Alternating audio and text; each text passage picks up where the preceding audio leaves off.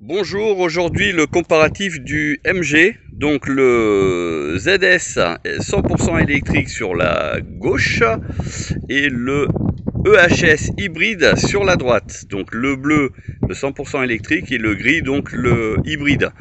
Comme vous pouvez voir, donc il y a une différence notable au niveau de la face avant. Les phares qui sont pas euh, tout à fait les mêmes. Ils sont un peu plus euh, grands au niveau de, euh, du hybride.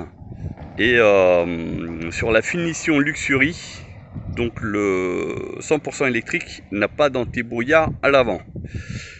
Au niveau du spoiler avant, on, a, on voit bien une différence au niveau du bas du pare-choc.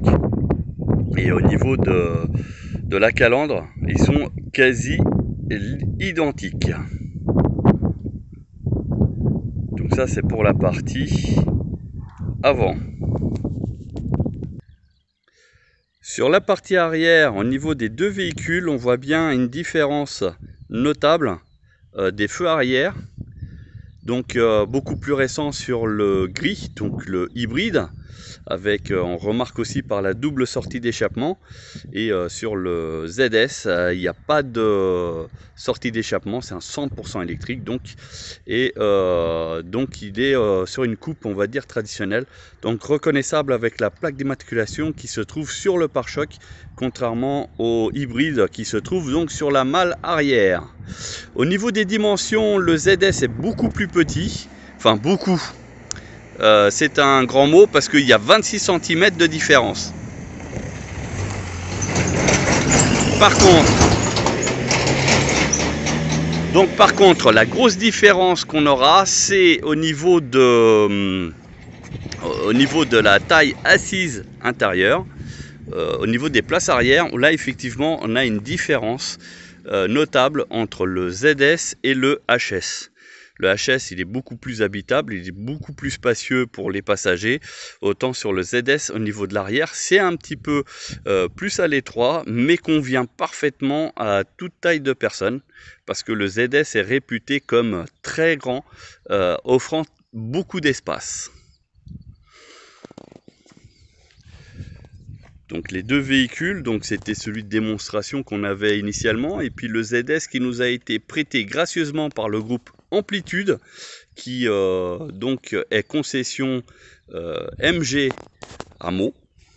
Donc ils nous ont prêté gracieusement parce qu'ils ont apprécié notre qualité euh, concernant les essais qu'on a fait sur le véhicule, les tests, etc. Et donc ils nous ont mis à notre disposition ces deux véhicules de manière à ce qu'on puisse les tester et donner notre avis.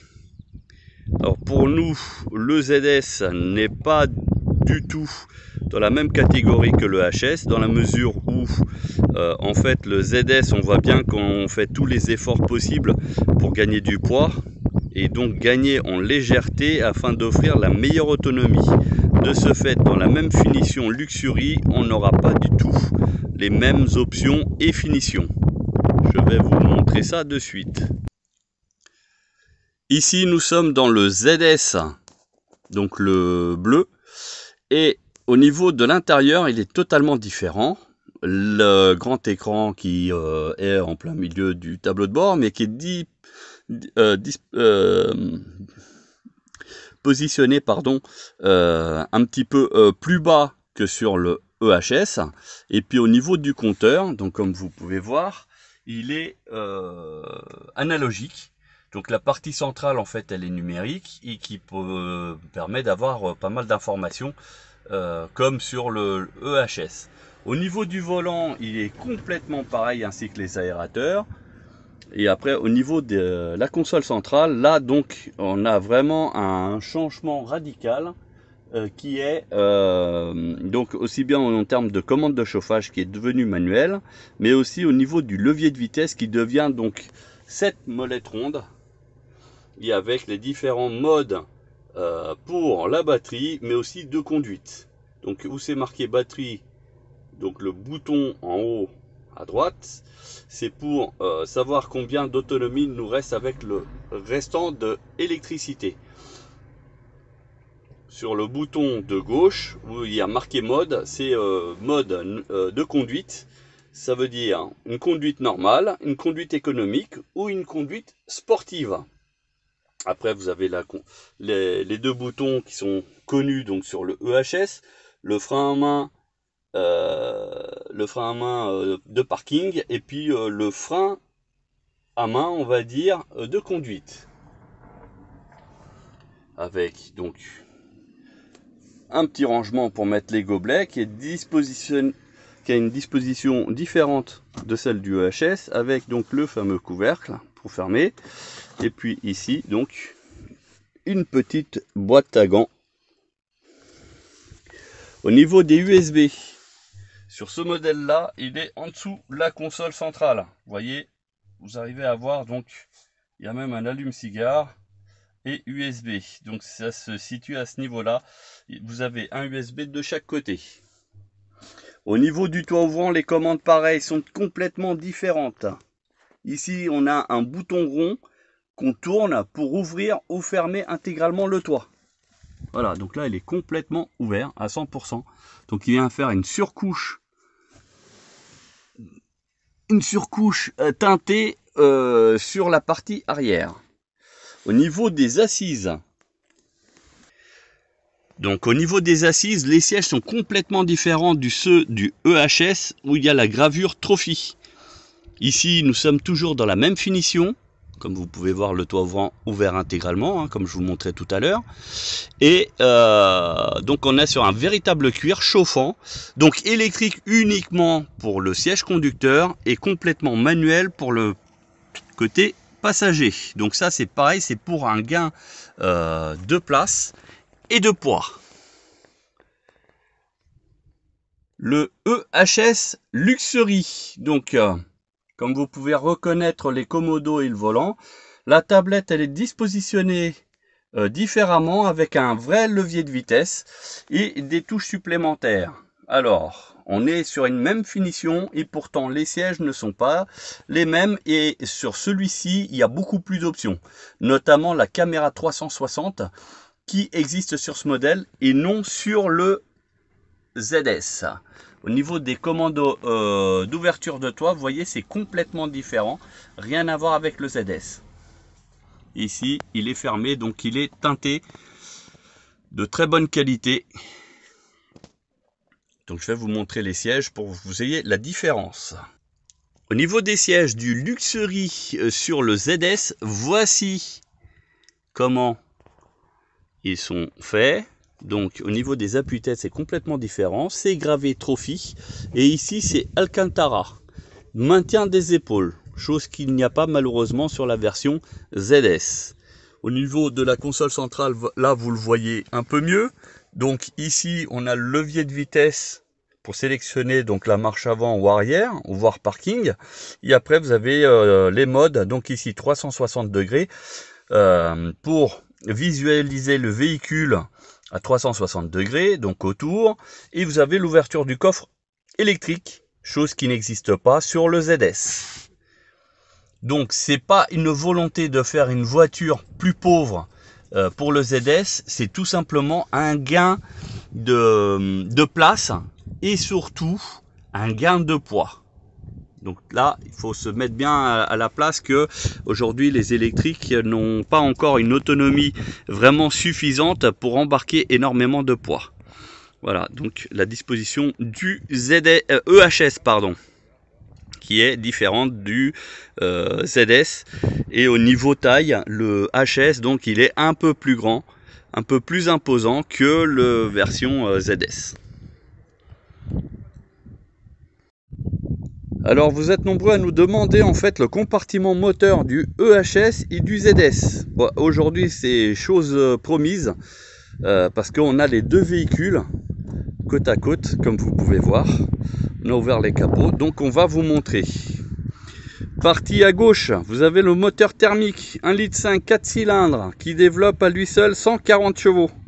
Avec le moteur thermique juste à droite donc où il y a les tuyaux orangés vous voyez on a du 380 euh, volts voire même plus euh, donc le tout couplé à 258 chevaux voilà donc je vais Donc il euh, n'y a rien de sorcier, il n'y a rien de nouveau. Le turbo, il se trouve ici, derrière cette grosse plaque métallique, avec un catalyseur. Ici, c'est un cache se retire. Ah oui, il est vissé, donc je peux pas vous le retirer. C'est une injection directe. Voilà, tout est neuf. Et d'ailleurs, sur cette version, de ce que je peux voir et constater, il n'y a pas de euh, protection sous le moteur. Donc, si jamais il y a une fuite euh, d'huile ou euh, d'un liquide, on aura directement la trace au sol. Voilà, donc ça c'est pour la partie EHS, donc le hybride. Vous avez un moteur thermique et un moteur électrique. On passe maintenant au ZS 100% électrique. Voyez, on a fait un gain de place. On a donc la fameuse boîte de vitesse. On a un gros calculateur sur votre gauche d'électricité mais aussi de liquide de refroidissement qui rentre dedans pour euh, certainement refroidir certains composants électroniques. On a une batterie pour le fonctionnement, on va dire, euh, général de la partie électronique interne, donc autoradio, etc. Et puis euh, donc au milieu, tout ce qui est euh, propulsion, donc moteur qui est couplé directement à la boîte en dessous. Donc vous voyez qu'on a encore de la place. Euh, si vraiment il y avait besoin, il suffisait de mettre une planche tout le long et pour mettre des petites choses. Donc liquide de refroidissement, il y a deux bocaux aussi. pareil, donc il faut refroidir le système, mais aussi pour la clim parce que là-dessus il y a un petit ventilateur ici si on arrive à voir. Voilà. Et puis euh, donc la partie euh, euh, lave-glace et l'autre l'autre partie pour refroidissement donc de la partie je pense électronique. Ici le, gros cerveau que vous voyez en alu. Voilà, donc il y a quand même pas mal de, place, hein, parce que on arrive presque au niveau du, bas de la batterie, vous pouvez voir.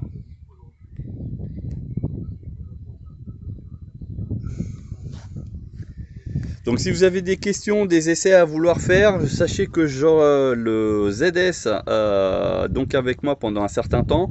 Donc je pourrai ainsi faire les tests pour vous sans aucun problème. Alors, je vous fais le tour du HS qui, dans la formule Luxury, les vitres arrière surteintées, contrairement au ZS de la même finition. Les clignotants ne sont pas actifs sur le ZS. Euh, Et donc au niveau de la partie avant, les phares sont un peu différents et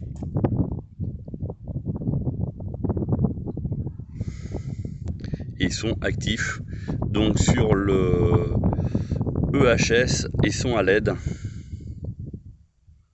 100% LED et puis il y a surtout donc la grosse différence au niveau de la face avant. Les anti-brouillards qui n'existent pas sur la version électrique. Voilà. Sinon après pour les jantes alu, ils sont bien spécifiques pour la version électrique que je vais donc vous montrer. D'un côté, donc celui-ci, version électrique, donc chaussée en... Je suis en train de chercher la taille. En 17 pouces.